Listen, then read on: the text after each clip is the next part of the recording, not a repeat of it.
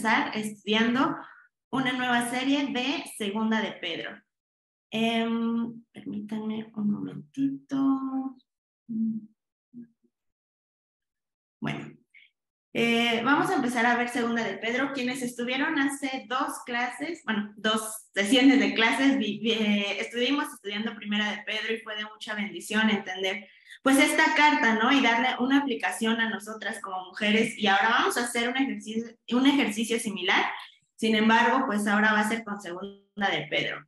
Y antes de comenzar, sí me gustaría platicarles un poquito de qué fue lo que ocurrió con esta clase. Justamente, em, y, quiero que lo sepan porque eh, a veces creemos que no, pues es bien fácil entender la Biblia, cómo le podemos hacer, este, cómo eh, es muy fácil entender la Biblia para quienes presentan, para quienes comparten un tema, sin embargo, al estudiar el, primer capítulo me encontré en un dilema que dije, no entendí nada, literal, no sé si no estaba muy concentrada o qué pasó, y quiero que esto lo sepan ustedes también como mujeres, que hay momentos en los que decimos, no entendí, ¿qué hago? ¿Cómo le hago para entender la Biblia? Entonces, de aquí surgió la idea, esta clase la quiero hacer como muy dinámica que todas podamos ir analizando la palabra de Dios después de un tiempo y, ver algunos métodos para estudiar la Biblia, me di cuenta que realmente requiere estudio, no nada más es como de sentarnos y leer y, ah, pues ya, ya, listo, ya lo voy a aplicar, porque hay veces en las que decimos, bueno, ¿y cómo, no? ¿Cómo, cómo interpreto la Biblia? Entonces, digamos que esta clase tiene dos intenciones. Primero, pues obviamente estudiar esta carta eh, ver qué es lo que Dios tiene para nosotros, pero también eh, de hacerla de una manera muy práctica y poder juntas estudiar la palabra de Dios y que vean que realmente sí, teniendo una metodología, un método, es sencillo estudiar la Biblia y se puede entender y entonces ya después de ir analizando el texto, ir em, escudriñando la palabra de Dios como nos dice la Biblia, pues pude entenderlo y pude encontrarle todo el sentido al mundo y fue como, wow, entender lo que Dios tiene para nosotras. Entonces, si en algún momento les ha pasado que se sientan y dicen, ay, es que no entendí nada de lo que leí en este momento, puedan hacerlo con calma. Eh, les digo, aquí vamos, les voy a ir dando algunos este, elementos claves juntas, vamos a ir analizando. Para esta clase sí eh, me gustaría que eh, en el momento que les diga quien quiera pueda abrir su micrófono, comentar. Aquí les voy a hacer algunas preguntas de reflexión y lo vamos a ir haciendo juntas. Y, este es el objetivo, ¿no? Que eh, también me han preguntado algunas mujeres de, oye, pero es que, ¿cómo estudio la Biblia? ¿Qué, ¿Qué puedo hacer para entenderla mejor?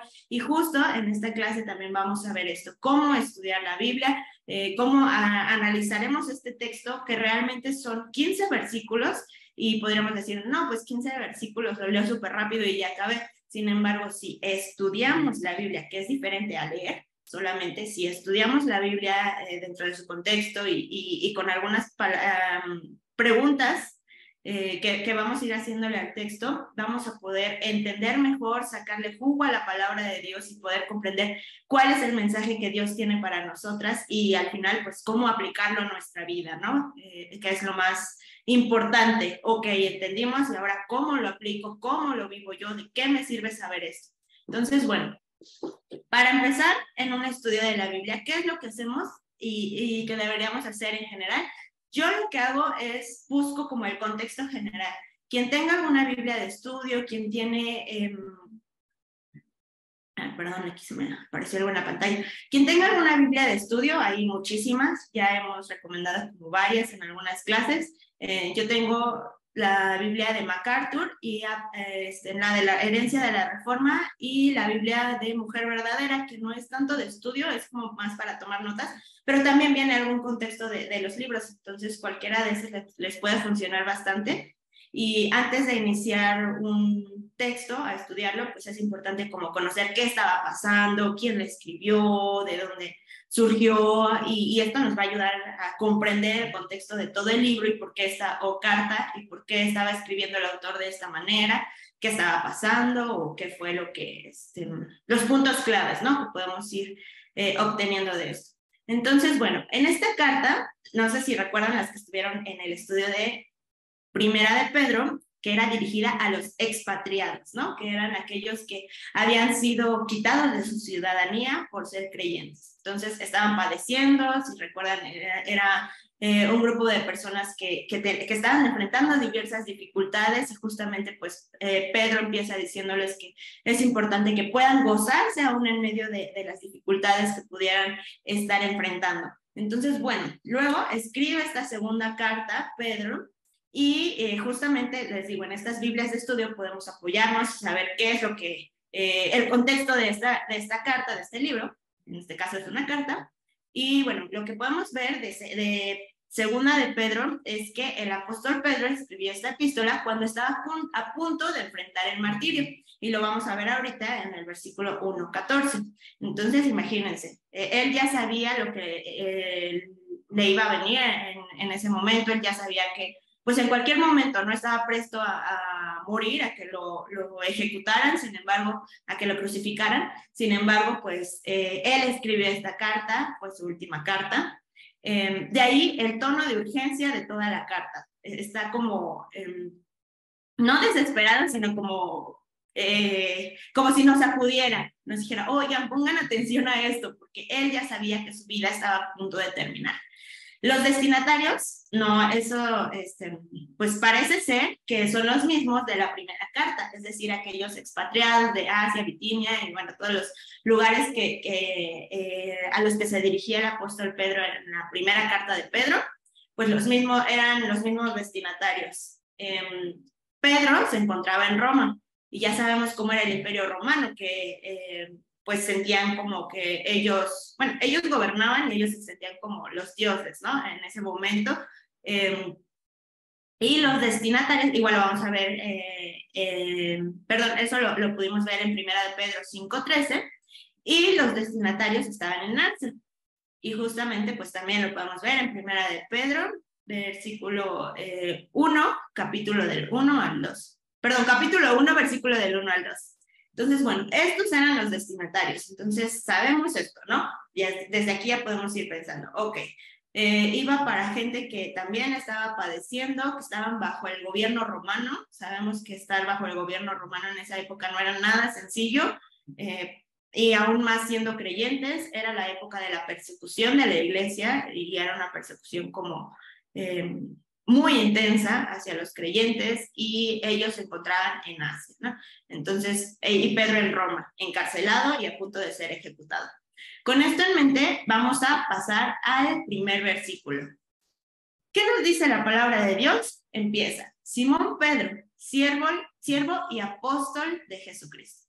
Y desde aquí ya podemos empezar a, a analizar, ok, Vamos a ver qué es lo que nos dice la palabra de Dios y, y, esto es lo que quiero que hagamos. Cada vez que ustedes se enfrenten a un texto, no se vayan de corrido y leyendo y leyendo y leyendo y ah, ya este, me quedé con lo que entendí, lo que no, pues ya ni modo, sino que realmente vayamos analizando. Eh, se le llama de una manera expositiva. Esta, por cuestión de tiempo, no va a ser todo, todo palabra por palabra expositiva porque tenemos un tiempo limitado. Sin embargo, sí me gustaría que algunas partes nos enfoquemos un poquito más y podamos ir desmenuzando de qué se trata este texto. Entonces, bueno, nos dice Simón Pedro, siervo y apóstol. Y algo importante que, que me llama la atención de este texto es que Pedro se consideraba siervo, primeramente, y después apóstol de Jesucristo antes de ser apóstol, es decir, un enviado por Dios. Y lo mismo, si aquí, por ejemplo, ustedes se encuentran ante una palabra de, bueno, ¿qué significa apóstol? Pues justamente pueden investigar. Ahora tenemos mucha tecnología, tenemos internet para buscar y, ok, ¿cuál es el significado bíblico de apóstol? Y lo pueden encontrar y, bueno, ahí pueden ir tomando sus notas. En este caso fue lo que hice. Ok, ¿qué significa ser apóstol? Significa ser un enviado por Dios. Entonces Pedro reconoce que como un siervo, eh, que él es un siervo o esclavo de Cristo. Y aquí una pequeña aplicación que podríamos darle es justamente, ¿no? Nosotras, ¿cómo nos consideramos? ¿Cómo nos presentamos ante otras personas? Antes de ser estudiantes o mamás o licenciadas o amas de casa o cualquier otra cosa, ¿se consideran siervas de Dios? Aquí sería como que lo reflexionemos, ¿no? ¿Realmente me considero sierva de Dios y mi identidad está en ello? ¿O pongo por encima lo que soy, mi posición económica, mi profesión, mi oficio, mi eh, estatus, cualquier otra cosa? Y aquí queda como reflexión.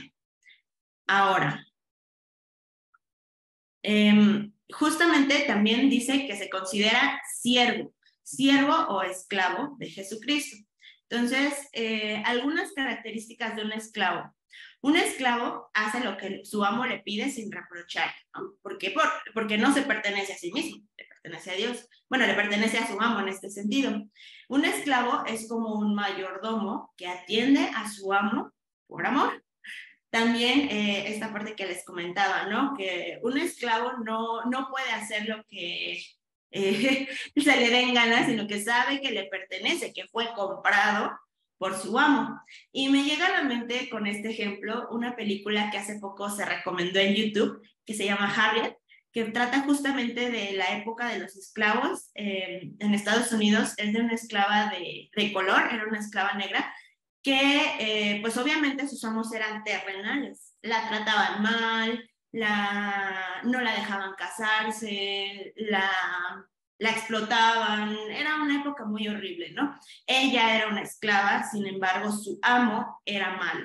Sin embargo, en esta película también se ve como ella sabe que sí, es, es esclava física, de, eh, era esclava física de una persona, de un dueño en la tierra malo, de un... Em, amo malo. Sin embargo, ella va en búsqueda de, de la justicia y ella eh, cree en Dios y ella sabe que su amo es Dios, su amo verdadero es Dios y en Cristo puede tener esa libertad.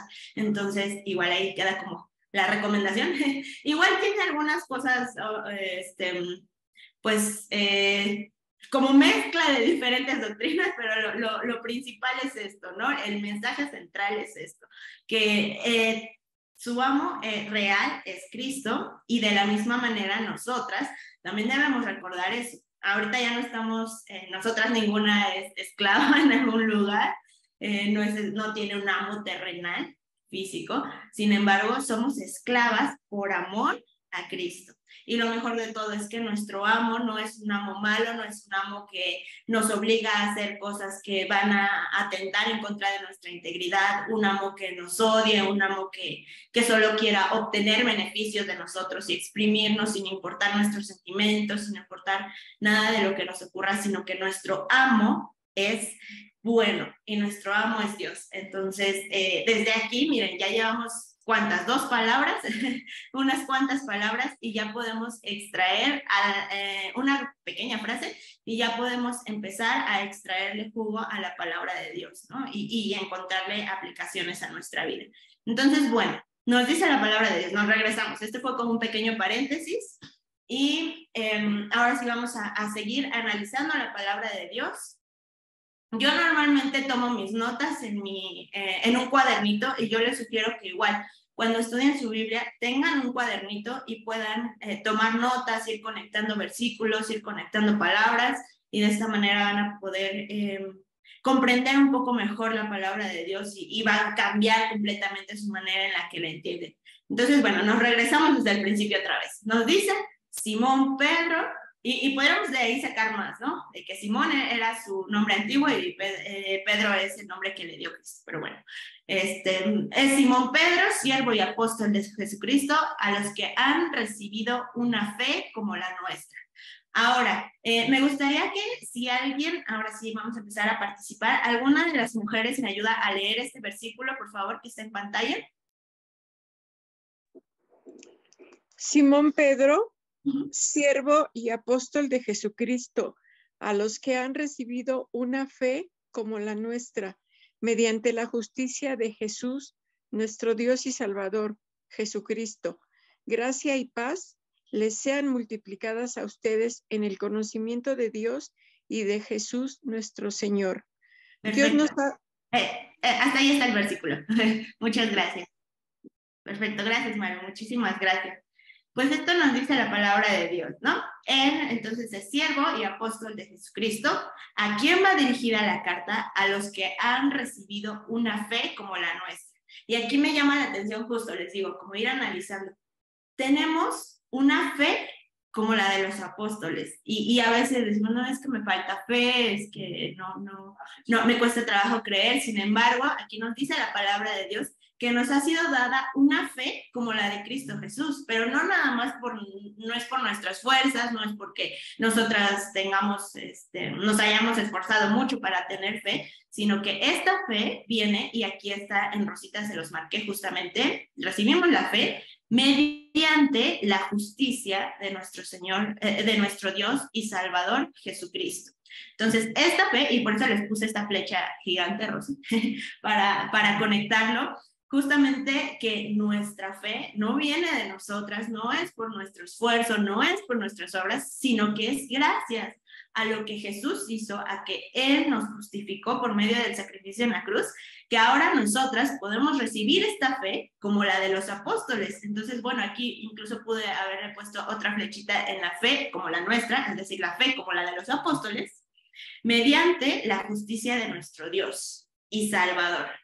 ¿De qué nos salvó? Pues de nuestros pecados, de la condenación, de la ira del Padre justamente por haber cometido toda clase de pecados a lo largo de nuestra vida. Sin embargo, lo que Jesús hizo fue pagar por nosotras en la cruz y ahora, gracias a eso, hoy podemos tener fe. Y, es un gran, una gran bendición, un gran beneficio el poder eh, haber recibido esta fe. Y si estamos hoy aquí conectadas por Zoom, es porque Cristo nos justificó en la cruz y nos ha dado esta fe. Y no solo eso, sino que nos ofrece gracia que la gracia, nuevamente, si, si hay palabras que no, no puede, eh, eh, que no, este, no conocen el significado, pues podemos buscarlo, ¿no? La gracia es el favor inmerecido y también nos ofrece paz, esa tranquilidad, esa seguridad. Entonces, Dios nos ofrece gracia y paz y no solamente, eh, como mencionan a veces a cuentagotas, ¿no? De poquito, sino que dice gracia y paz les sean multiplicadas a ustedes. Pero ¿cómo? dice, en el conocimiento de Dios y de nuestro Señor eh, y de Jesús, nuestro Señor. Y este es un punto importante que quiero que empecemos a ver igual. ¿Cuántas veces se repite la palabra conocimiento de Dios? Ahorita vamos empezando, pero bueno, llevamos una, ¿no? Entonces, eh, Dios quiere que lo conozcamos y que mediante esa fe sigamos conociéndolo más y más y podamos eh, ir obteniendo eh, eh, esa paz, esa seguridad en Cristo por medio de conocerlo a Él. Entonces, bueno, Dios nos ha dado una fe como los apóstoles, como lo vimos, y es gracias a Cristo que nos justificó por medio de la cruz que podemos tener esta fe. Entonces, como reflexión, y aquí eh, lo mismo, quien quiera participar, vamos a, les digo, quiero que, que sea muy dinámica esta clase, ¿Qué atributo de Dios podemos ver aquí? Atributo es una característica que, que Dios muestra. Por ejemplo, eh, ya lo habíamos comentado en alguna otra clase, pero lo, lo, puedo repetir, que un atributo yo puedo decir de Beca es eh, una mujer muy amable y se preocupa por los demás. Ese es el atributo de Beca. ¿Cómo sé que Beca es así? Porque yo la conozco, porque he platicado con ella, porque he visto cómo, cómo es su conducir, cómo, cómo eh, busca el bien de otras personas. Entonces, ese es el atributo de Beca. Eso lo sé porque, les digo, he platicado con ella, la he visto. Ahora con Dios, ¿qué atributo de Dios vemos en este pasaje? Eh, me voy a regresar ahorita para que lo puedan este, ver y analizar, pero podría ayudarnos eh, esta frase que, que lo hemos visto con el pastor Josué. Esta porción me muestra a Dios como un Dios y ya puede ser un Dios justo, un Dios que sana, un Dios que salva o cualquier otra este, afirmación que podamos ver. Entonces me regreso aquí y quien quiera participar, ¿qué atributos de Dios podemos ver en este texto? Quien quiera puede abrir su micrófono. La justicia. Perfecto, perfecto. Dios es justo. Misericordia, amor. Misericordia, amor, perfecto, Lupita, muchas gracias. ¿Qué más vemos? Bondad. Bondad, ajá. Una última. Paz. Sabiduría. Paz y sabiduría.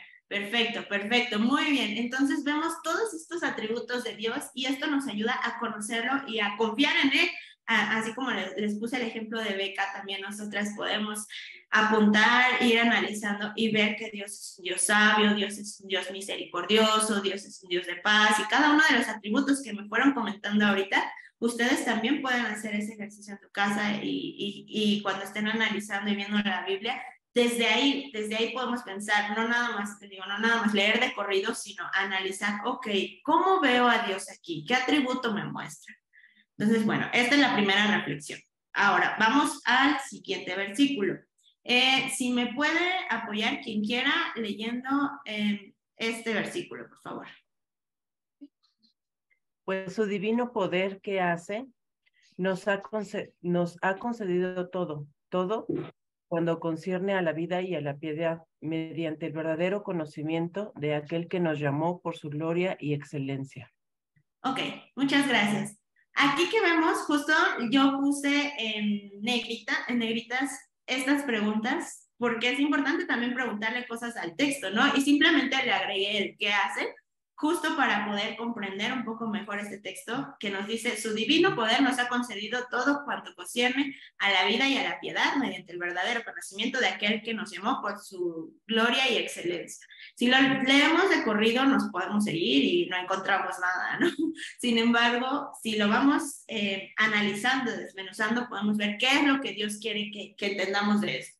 Entonces, bueno, dice, pues su divino poder, y de aquí ya aquí me, me llama la atención esta palabra, ¿no? Y, y, ahí podemos ver otro atributo, que Dios es poderoso. Entonces, justamente, su divino poder, ¿qué hace su divino poder? Nos ha concedido todo, ¿ok? Todo respecto a qué, y por eso lo pongo en negritas, ¿ok? Su poder nos ha concedido todo cuando, cuanto concierne a la vida y a la piedad. Es decir, nos ha dado la oportunidad de entender todo concierne, todo lo que refiere a la vida, es decir, la vida eterna, y a la piedad mediante el verdadero conocimiento, y ahí está otra vez la palabra conocimiento, es la segunda vez, eh, de aquel, pero no es un conocimiento general como de la vida, de la, en general, sino que es un conocimiento de qué es, de aquel que nos llamó por su gloria y excelencia, es decir, de Cristo. Entonces, y aquí eh, ¿Qué quiere decir esto? Y aquí yo quiero que alguna mujer participe. La, respuesta igual está en, la siguiente diapositiva, pero antes me gustaría saber cómo, ¿qué, qué es lo que ustedes pueden ver de este texto. Dice que, eh, nuevamente repito, que su poder nos concedió todo cuanto concierne a la vida y a la piedad, mediante el verdadero conocimiento de aquel que nos llamó por su gloria y excelencia. ¿Alguna mujer que quiera abrir su micrófono? Y decir qué, qué quiere decir esto. Eh, pues yo creo que es que Él nos da la capacidad y nos puede dar la sabiduría para entenderlo y conocerlo como verdaderamente es. Perfecto, Sofía. Muchísimas gracias. Y es eso, a veces em, la, la, redacción de, de, algunos textos es como compleja, ¿no? Si lo leemos a primera,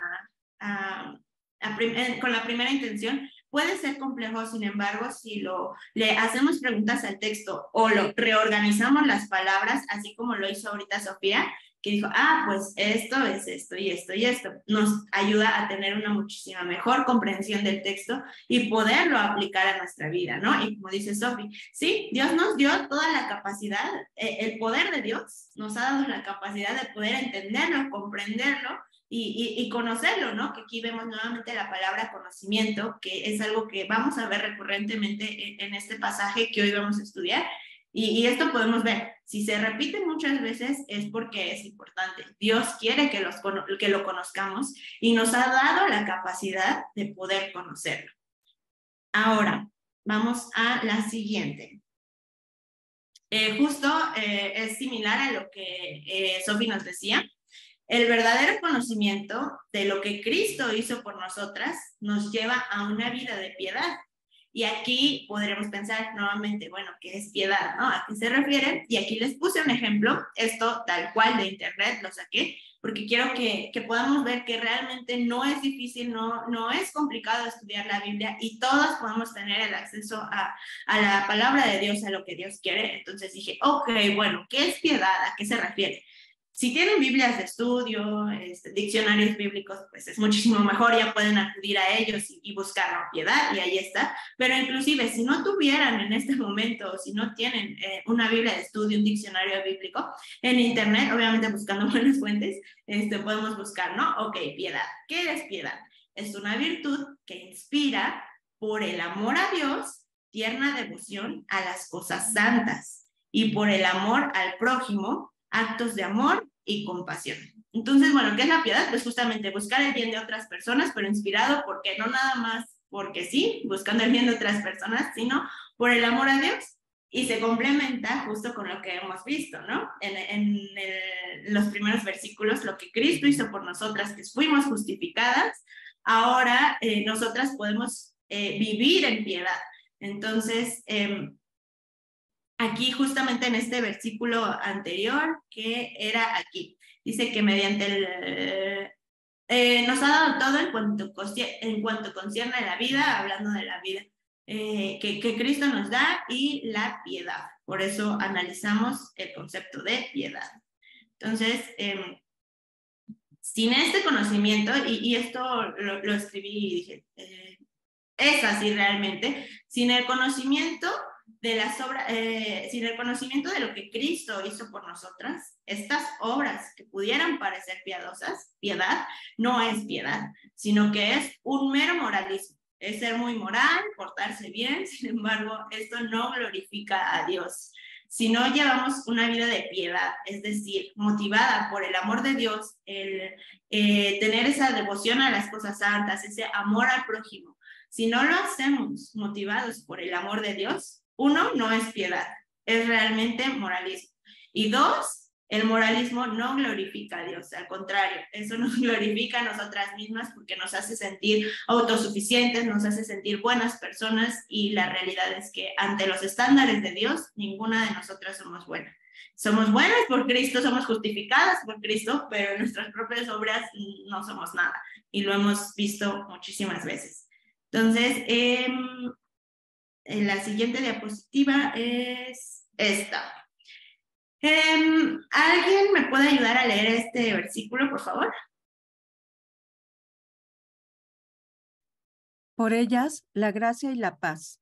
Él nos ha concedido sus preciosas y maravillosas promesas a fin de que ustedes lleguen a ser partícipes de la naturaleza divina, habiendo escapado de la corrupción que hay en el mundo por causa de los malos deseos. Muchísimas gracias. Y, esto nos dice la palabra de Dios, por ellas, así viene solita, por ellas. Entonces tendríamos que regresarnos y ver, bueno, de qué está hablando aquí. Y justo eh, aquí vemos desde el primer versículo, gracia y paz les sean multiplicadas a ustedes. Entonces, bueno, está hablando de eso, justamente. Entonces, por la gracia y la paz, Él nos ha concedido sus preciosas y maravillosas promesas. Dios nos ha concedido promesas a nosotros, pero ¿con qué fin? ¿Con qué propósito? Para que nada más seamos felices y ya. Dios quiere nuestra felicidad, sí, pero tiene propósitos aún mayores y es que lleguemos a ser partícipes de su naturaleza divina. Es decir, en otras palabras, nuevamente reorganizando, ¿no? ¿Qué quiere decir esto de ser partícipes de su naturaleza divina? Pues que podamos reflejar su imagen, que podamos eh, participar de esa parte de ser el reflejo de Cristo. Y nos dice cómo, habiendo escapado de la corrupción que hay en el mundo por causa de los malos deseos. Entonces, de aquí, ¿qué podemos reflexionar? ¿Qué podemos pensar? Pues que según este pasaje, ¿cuál es la voluntad de Dios? ¿Qué desea Él de nosotras? Y aquí esto yo les pregunto, ¿qué es lo que Dios quiere de nosotras? ¿Cuál es la voluntad de Dios según este pasaje? ¿Quién quiere, quien quiera puede abrir su micrófono y, y responder? Según este pasaje, ¿cuál es la voluntad de Dios y qué quiere para nosotras?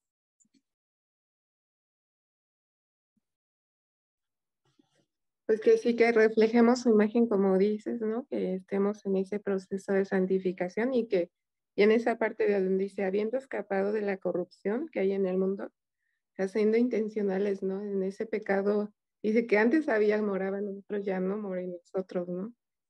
Perfecto. Perfecto, Lulu, muchísimas gracias y, y es correcto, así es, eso es lo que Dios quiere para nosotras. que justamente eh, escapemos de esa corrupción del mundo y reflejemos su imagen. Y realmente ahí podemos nuevamente, ¿no? A lo mejor y si estamos tomando notas en nuestra Biblia, pues apuntarlo a un ladito. Esto significa, este pasaje, que a lo mejor, y les digo, puede tener palabras complejas, lo puedes resumir de esta manera. Esto es lo que quiere Dios, esta es su voluntad, que reflejemos su imagen y huyamos de la corrupción del mundo. Eh, este es el siguiente versículo. Quien quiera me puede ayudar a leerlo, por favor. Por esta razón también, obrando con toda diligencia, añadan a su fe virtud y a la virtud conocimiento, al conocimiento dominio propio, al dominio propio perseverancia y a la perseverancia piedad, a la piedad fraternidad y a la fraternidad amor. Gracias, Lupita. Y bueno, continuando con esto, pues Dios nos dice, y, y ahorita vamos a hacer una recapitulación de lo que veamos, porque ahorita como nos estamos deteniendo mucho, pues pareciera ser como ideas ahí este, eh, por todos lados, sin embargo, ahorita vamos a recapitular todo nuevamente para entender la idea general de este pasaje que estamos estudiando, pero ahora, en este momento que estamos desmenuzando poco a poco, pues nos dice la palabra de Dios. Ok, por esta razón, porque debemos escapar del mundo, recuerden que todo se conecta con todo, no son ideas separadas, todo es una misma carta, ¿no? Entonces nos dice que em, a causa de esto que debemos escapar de la, eh, de la corrupción del mundo, de los malos deseos, también debemos obrar con diligencia, y, es lo que nos decía Lulu ahorita, sí, nos corresponde el empeño, pero em, todo parte del hecho del versículo 1 que vimos, que, fue, que somos justificadas por Cristo. Gracias a que somos justificadas por Cristo, ahora podemos obrar, y aquí ya viene la palabra obra, de la siguiente manera, no como los mencionaba en medio, haciendo unas diapositivas atrás, que las obras sin el motivo de glorificar a Dios, sin eh, tener a Dios en nuestra mente, nuestras obras se convierten en moralismo y el moralismo no glorifica a Dios. Por eso es muy importante leer todo desde el principio, desde el comienzo de la carta en su contexto, porque si nos vamos y empezamos a estudiar desde esta parte, pues podemos caer en eso, en moralismo, y decir, ah, no, pues tenemos que hacer esto y esto y esto y esto, y se convierte en obras, obras, obras, sin razón, sin motivo. Entonces, bueno, esta, esta parte del versículo nos dice que también debemos obrar con diligencia, diligencia, pues ser, em, atenderlo con prontitud, hacerlo de la manera correcta. Entonces, eh, ¿qué, eh, ¿qué debemos hacer?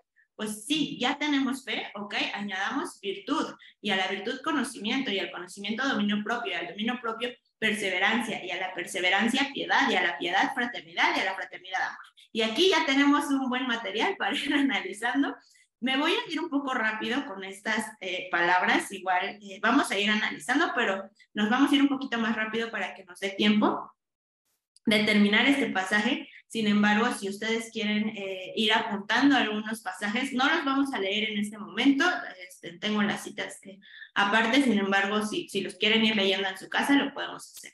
Entonces, bueno, la fe. ¿Qué es la fe? Pues Hebreos 11.1 nos dice, ¿no? La fe, la certeza de lo que se espera y la convicción de lo que no se ve. Ok, ya tenemos fe, añadamos virtud. ¿Qué significa virtud? Pues podemos irnos a nuestro diccionario bíblico o al internet y preguntarle, ¿qué es la virtud según la Biblia? Ok, pues es una disposición habitual para hacer el bien. Y aquí, por ejemplo, a mí me viene a la mente Proverbios 31, de la mujer virtuosa, ¿no? Que está dispuesta a hacer el bien, que procura el bien de su familia, que busca eh, trabajar con empeño. En general, la mujer virtuosa, ¿qué es lo que hace? Porque se llama virtuosa, porque tiene una disposición para hacer el bien. Entonces, nosotras también debemos tener eso. Dios nos pide que a nuestra fe, ok, ya tienes fe, añade virtud. Busca hacer el bien a otras personas, pero motivada por Cristo, por lo que Cristo ha hecho por ti, por lo que Dios ha estado haciendo en tu vida. Entonces, bueno, ya le añadimos virtud, ya buscamos hacer el bien. Ok, estás buscando hacer el bien, ahora añade conocimiento. Y nuevamente, ¿qué es conocimiento? Pues es esa familiaridad o la conciencia o la comprensión de alguien o algo. Justamente es la tercera vez que vemos en la palabra de Dios la palabra conocimiento, en este pasaje, ¿no? Que vemos conocimiento. A Dios le importa mucho que lo conozcamos realmente y de ahí parte todo. Si no lo conocemos, vamos a tener fe no vamos a poder tener virtud, no vamos a poder reflejar su imagen, no vamos a poder lograr nada si no hay ese conocimiento de Dios. ¿Y cómo conocemos a Dios? Pues por la palabra de Dios, no hay otra manera en la que Él se ha reflejado más que eh, en su palabra podemos conocerlo, podemos saber quién es Él, qué le gusta, qué, cómo podemos confiar en Él, descansar en Él, solamente por el estudio de la palabra de Dios. Entonces, bueno, ah, ok, ya estamos estudiando, ya lo conocemos, ok, ahora añade a eso dominio propio, que eso pues nos cuesta bastante y hay que orarlo a Dios. ¿Y qué es el dominio propio?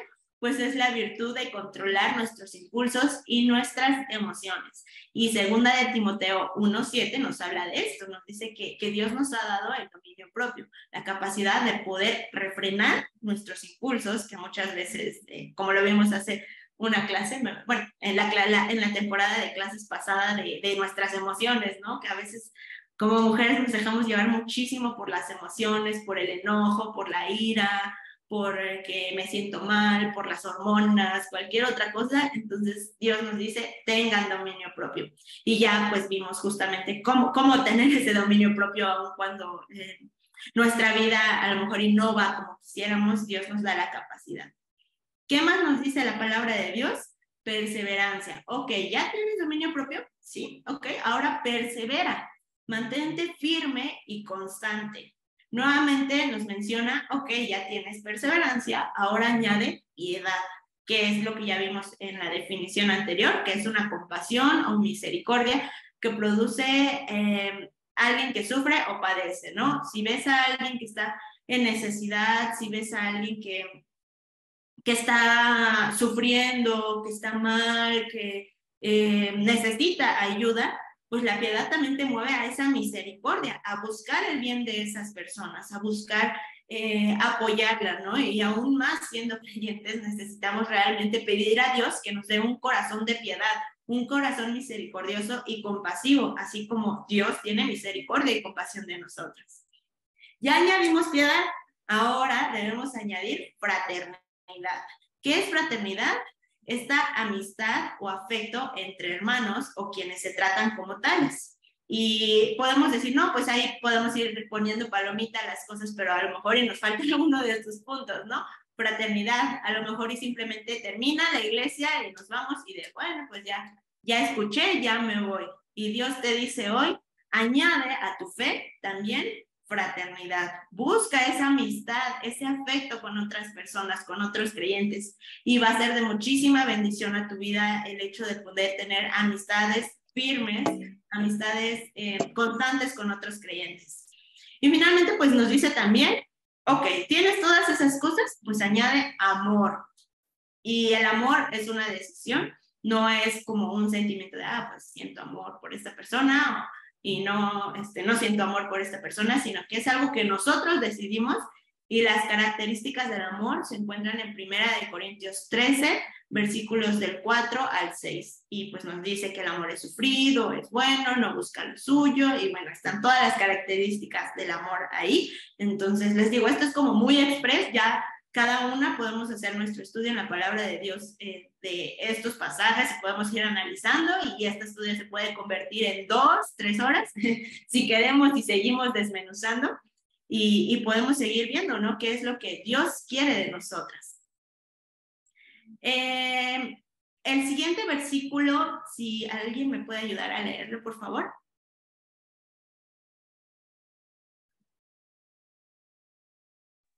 Pues estas virtudes al estar en ustedes y al abundar, no los dejarán ociosas y estériles en el verdadero conocimiento de nuestro Señor Jesucristo, porque el que carece de estas virtudes es ciego o corto de vista, habiendo olvidado la purificación de sus pecados pasados. Ok, muchas gracias, Silvia.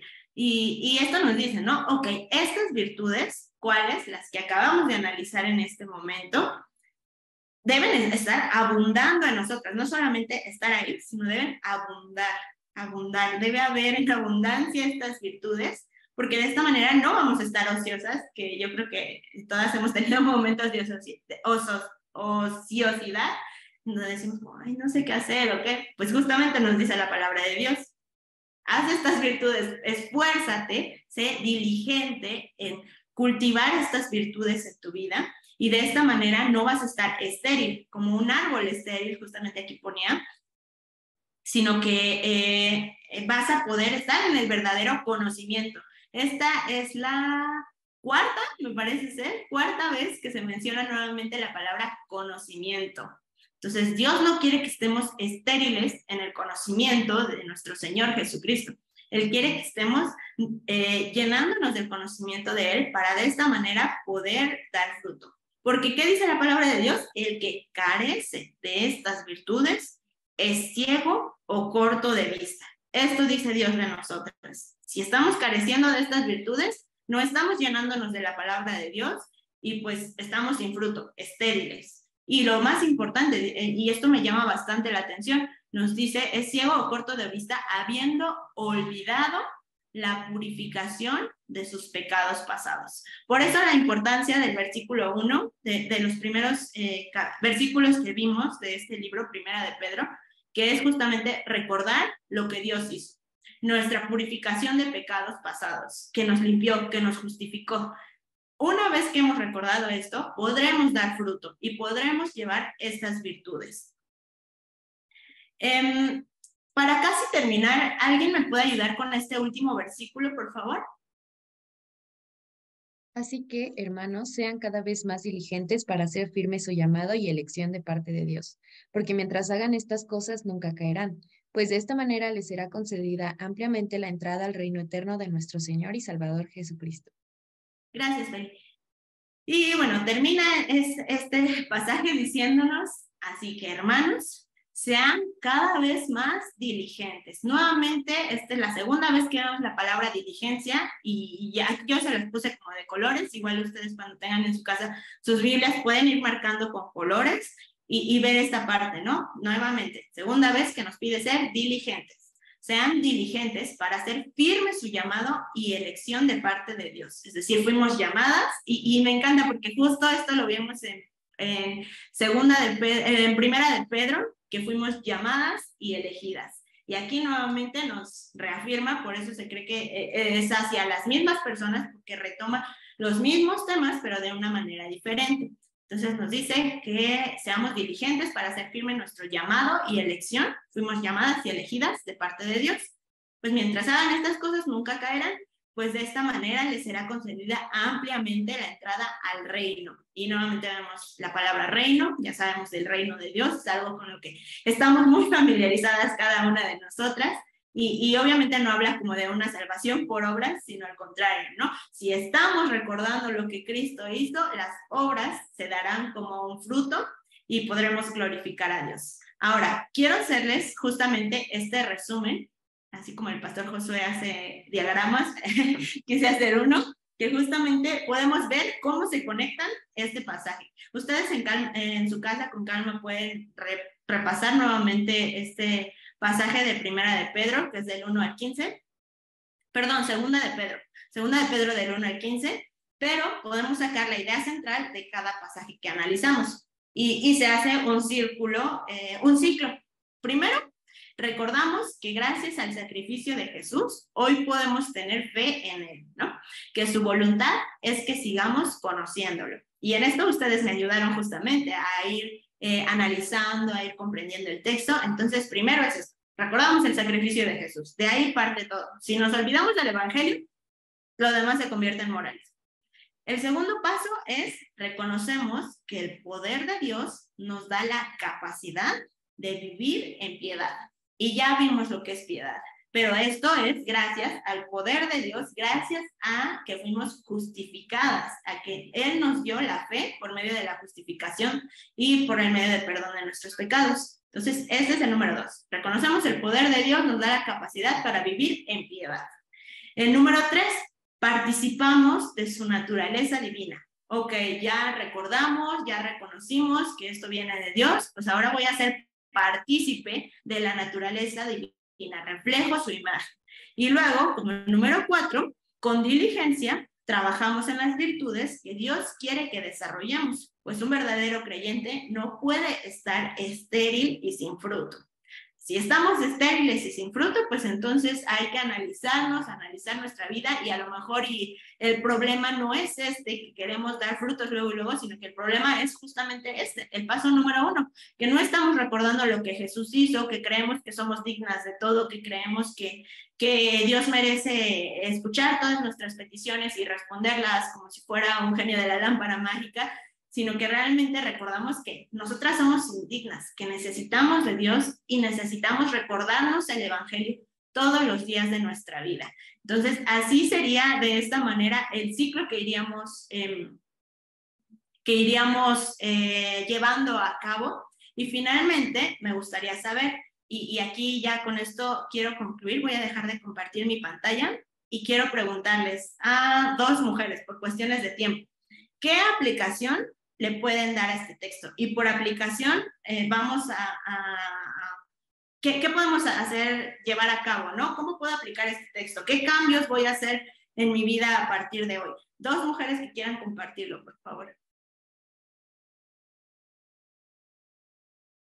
Yo, ser diligente, de verdad, porque es lo que me hace falta de ser constante en la lectura de, de la Biblia. Ajá, entonces hacer hacer esa parte. Diligencia. Perfecto, muy bien, muy bien. Y recordando antes de la diligencia, ¿cuál es el primer paso? Pues recordar lo que Jesús hizo por nosotros. de ahí parte todo, de ahí podemos seguir el siguiente paso. Si nos saltamos un paso, ahí podemos ir fallando, pero recordando lo que Cristo ha hecho por nosotras, el ser justificadas, confesión de pecados, pues podemos justamente eh, glorificar a Dios. Muchas gracias. ¿Alguien más? Pues yo, el dominio propio.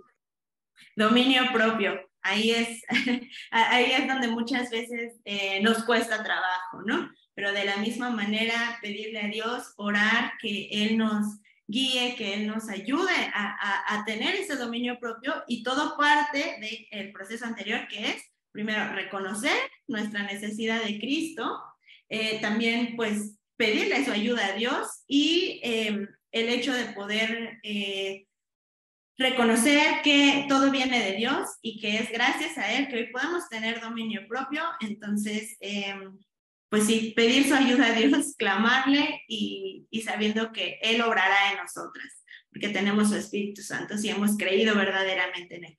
Perfecto. Y bueno, vamos por una última, ya nada más para, para terminar con una oración. ¿Alguna otra aplicación?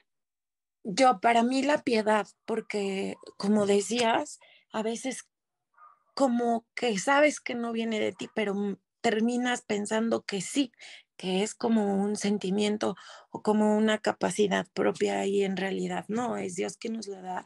Y entonces pedirle que, que seamos constantes en reconocer que no es nuestra.